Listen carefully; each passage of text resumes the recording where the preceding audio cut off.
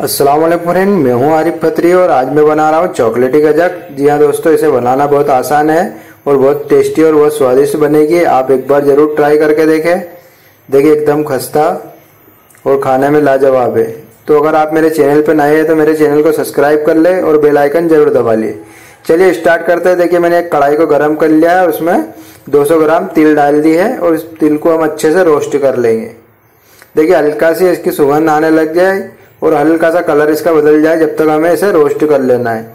इसे रोस्ट हो जाने के बाद अब एक बड़े से बर्तन में हम तिल को निकाल लेंगे और इसे हम निकाल कर अच्छे से फैला लेंगे और फैलाने के बाद इसे ठंडा होने देंगे। देखिए, इस तरह से फैला लेते हैं और अच्छे से हम ठंडा हो जाने देखिए, मेरी तिल ठंडी हो चुकी है तो अब मैं इसी पॉइंट पर इस मिक्सी के जार में इसे ऐड कर देता हूँ। एक मिक्सी का जार लिया है, उसमें हम सारी तिल को डाल देंगे। और उसके बाद देखिए, मैंने कोको पाउडर लिया तीन चम्मच। इसे भी हम इसके साथ डाल देंगे और एक इसे अच्छे से पेस्ट बना लेंगे। देखिए, मैंने अच्छे से इसका पेस्ट बना लिया है।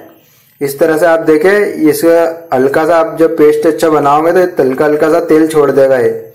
बस इसी पॉइंट पर हमें करना है। तो अब हम साइड में रखते हैं। देखिए, मैंने एक प्लेट ली, इसमें हम घी लगा लेंगे ताकि जिसमें हम सेट करेंगे हमारी गजक और बेलन पे भी जो मैंने एक बेलन लिया, उसमें भी घी लगा लिया।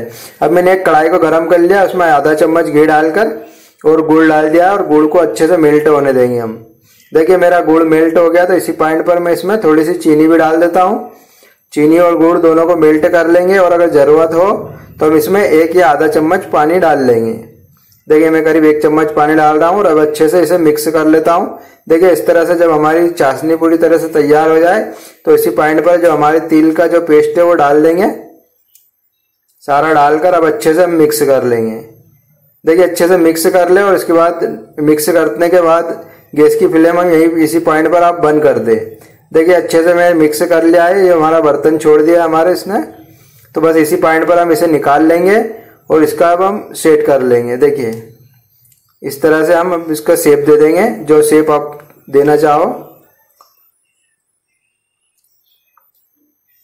अभी बेलन ले रहा हूँ। बेलन से इसे अच्छे से हम बेल कर और जैसा हमें पसंद हो उस शेप में हम इसे बेल लेंगे। और ऊपर से मैं थोड़ी सी तिल लगा लेता हूँ इस पर देखिए इस तरह से थोड़ी सी तिल लगा के फिर उसे बेलन से हल्का हल्का सा ऐसे प्रेस कर देंगे। और जो शेप हमें पसंद हो, जो साइज़ इसमें, उस साइज़ में आप कट कर ले। देखिए, मैं एक मीडियम साइज़ में काट रहा हूँ, ना ज़्यादा बड़े और ना ज़्यादा छोटे रख रहा हूँ। तो इसी तरह से आप भी इन्हें कट कर लें। और दोस्तों, आप ज़रूर ट्राई करें और अगर आपको मेरा वीडियो पसंद आए तो मेरे वीडियो को लाइक करें, मेरे चैनल को सब्सक्राइब करें।